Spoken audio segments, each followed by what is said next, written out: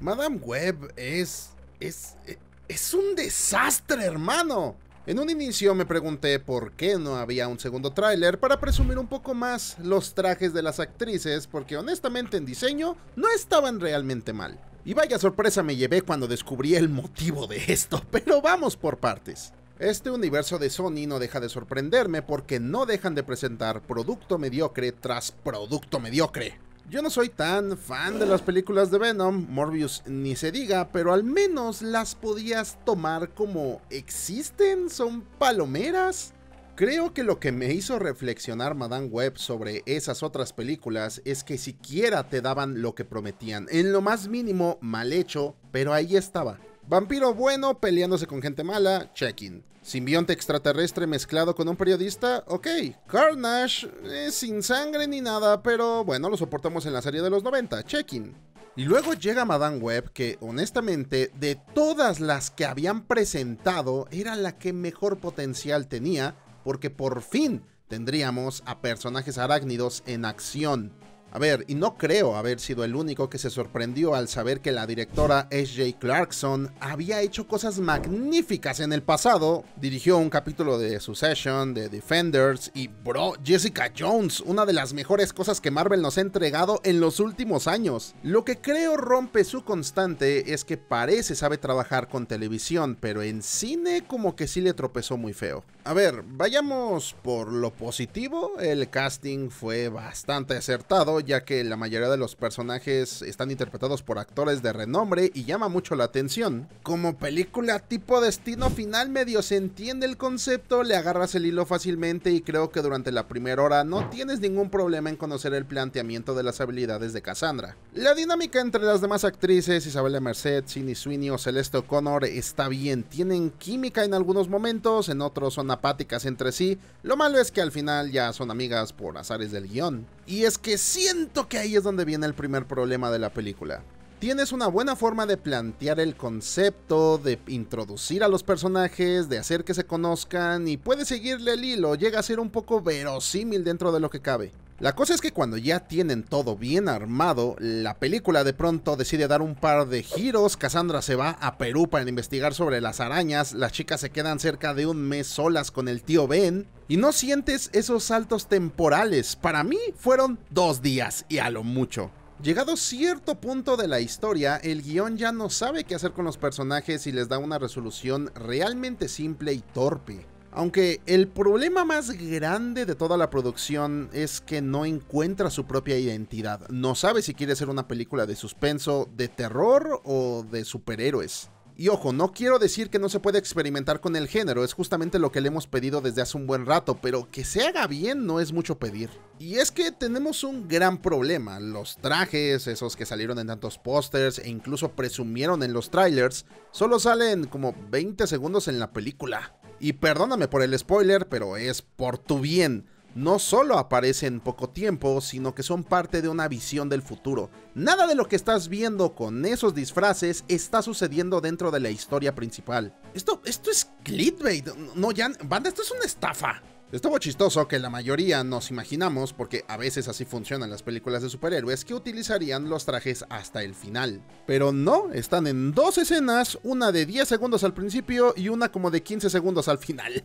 Y reitero, siento que las actrices lo dieron todo, Sidney Sweeney en serio es encantadora y la tipa como introvertida sí me la creo a pesar de que la vi en euforia. Y al inicio todo parece ir bien, se conocen, interactúan, comparten experiencias, bueno, me puedo creer que hacen algún tipo de conexión. Pero la historia se siente cortada y ya no me creo lo que estoy viendo en pantalla durante los últimos minutos. Cassandra como protagonista no me disgusta del todo, siento que sostiene bastante bien todo el relato, el problema es que como ella es la única que tiene poderes y la única habilidad con la que cuenta es predecir el futuro unos minutos hacia adelante, pues los encuentros con el villano resultan muy simples y a pesar de que tienen que quemarse el coco para librarse de este sujeto, la verdad es que no siento el impacto. Es una mezcla rara entre Destino Final y un slasher cualquiera. Ah, y todavía no hablamos de Ezequiel, un personaje que en los cómics fue relevante hace como unos 20 años y fue el responsable de avisarle a Peter que él era parte de los tótems arácnidos. El tipo bueno bueno no es, pero tampoco es como aquí. Lo convirtieron en una especie de Terminator. Con todo y que carece de personalidad porque, en serio, las motivaciones del sujeto tienen sentido en cierta medida porque ve en el futuro que las muchachas en algún momento lo van a asesinar. Pero se les olvidó un detalle muy importante, decirnos quién es este sujeto. Se explica medianamente de dónde consigue los poderes, pero jamás te platican qué es lo que hace, por qué está tan desesperado por salvar su legado, de dónde consigue tanto dinero. Y creo algo fundamental, siento que debieron revelarnos por qué estas chicas lo iban a matar en primer lugar. Solo sabemos que sucedió y ya, güey, y de ahí es una serie de eventos circunstanciales esperando que no vaya a matar a las chicas.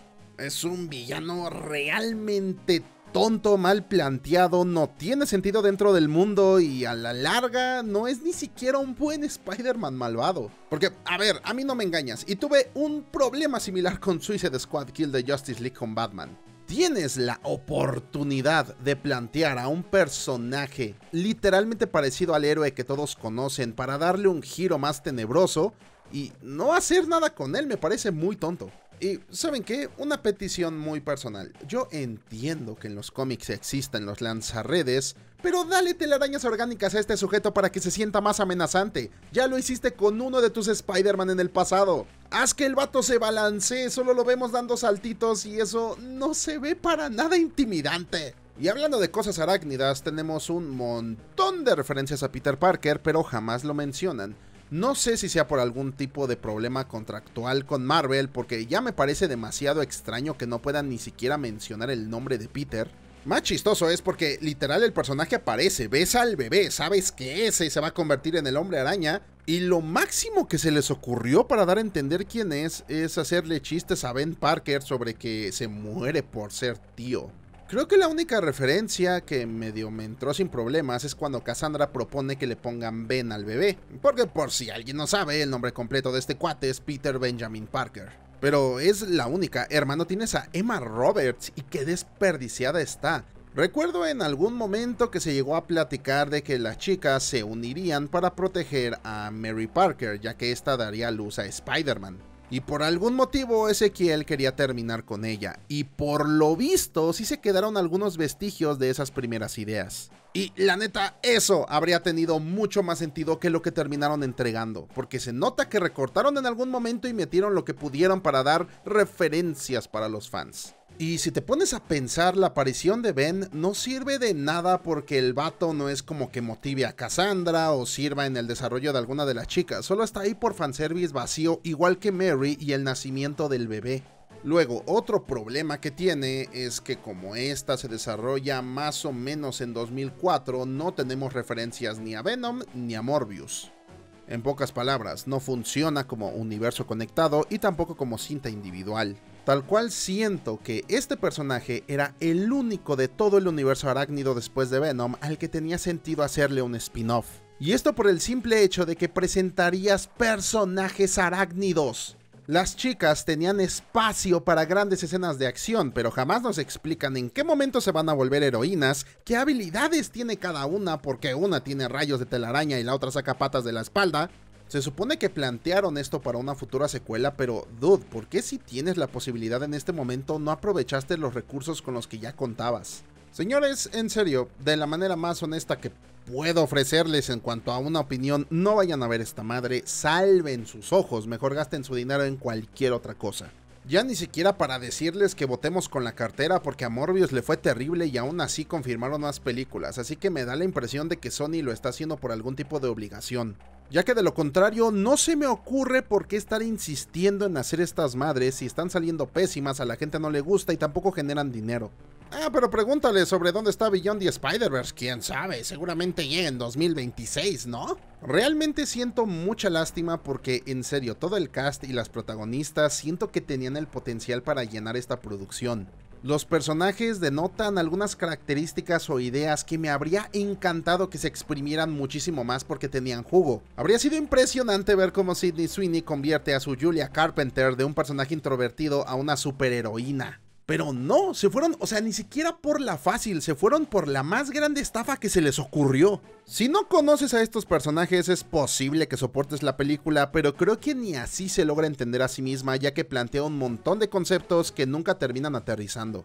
Así que desgraciadamente no se me ocurre algún tipo de público para el que puedas recomendar ver esta película. Y nada, si crees que este sufrimiento valió la pena para este video, al menos suelta un like para yo sentirme un poco reconfortado. Si ya la viste, déjame acá abajo en los comentarios tus opiniones al respecto y si no, platícame si tienes curiosidad por ver lo que presentaron en esta producción. Si les soy sincero, después de esto ya no confío en Craven, ya no confío en Venom 3, cualquier vestigio de curiosidad que tenía lo hicieron añicos con esta película. Peticiones fuera, los dejo, nos vemos.